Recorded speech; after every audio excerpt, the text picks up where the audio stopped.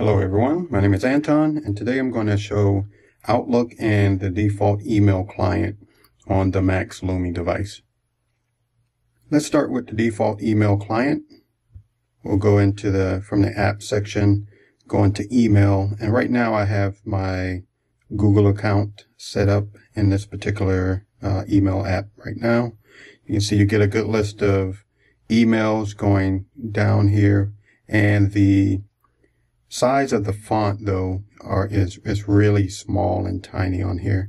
So this is where you may have to adjust the font size to fit a little bit better for or make make them more visible to to your liking. But let's go into an email first.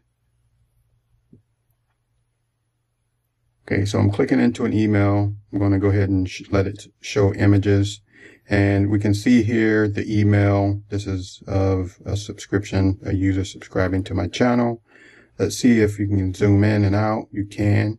You can see how that works. And let's go ahead and see if we can optimize this a little bit better here. So if we go into the app optimization settings, you can see that the functionality does not, um, it's not applicable for this application. So Right now, in order to change the font settings in here, you're more than likely going to go into the settings and let's go into the settings and see if that helps a little bit here. We're going to go to home, settings, more settings, and system display.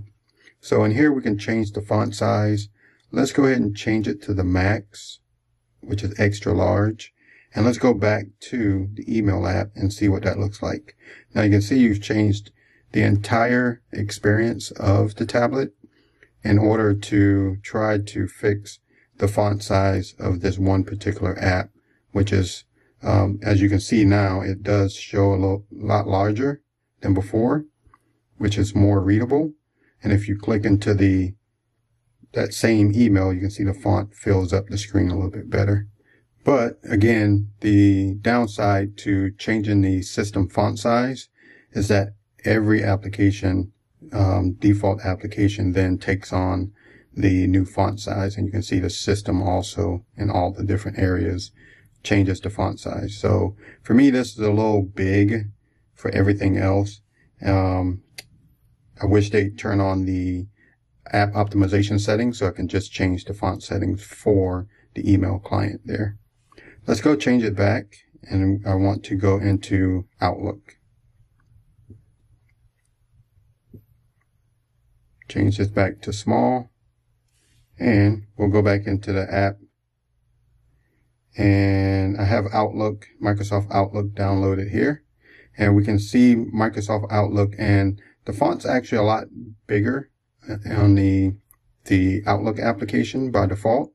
I didn't change any of the settings at all on the app, just installed it and ran through the process of adding this email account. Now, if I click on an email,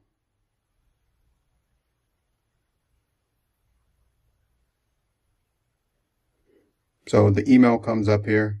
We have an image and a background on this particular email.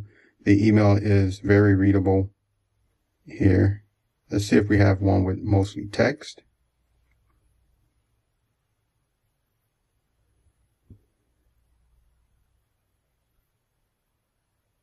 Another email here. This account here, I basically get um, emails from Microsoft. So this one has a little bit more text, still has some images, looks really nice. Scrolls really nice. Now we do have this top toolbar here, which is very dark. Let's go into the app optimization and see if we can change that there from whitened app background Let's remove that and see if that helps. So it does get darker there, um, but it doesn't seem to provide too much other than now you can see the delete archive and other options here in the in that toolbar where you can do things with the email. If I go back into app optimization and enable that whitened app background, you can still see it it's a little faded. So change it to however you like. Um, And basically that is the Microsoft Outlook app on here. It works just as it does on any of your other mobile devices, Android mobile devices. And you can see here it's pretty readable. You go through, it performs well. Go into other emails. You can go into the folder structure here and you can scroll around, choose different areas here that you want to look for, emails, archives, deleted items, etc. So you still get your all your folder options and anything that you pretty much would on an Android device. You can do your filters here as well. Just look for unread, flagged, or attachments in your filters.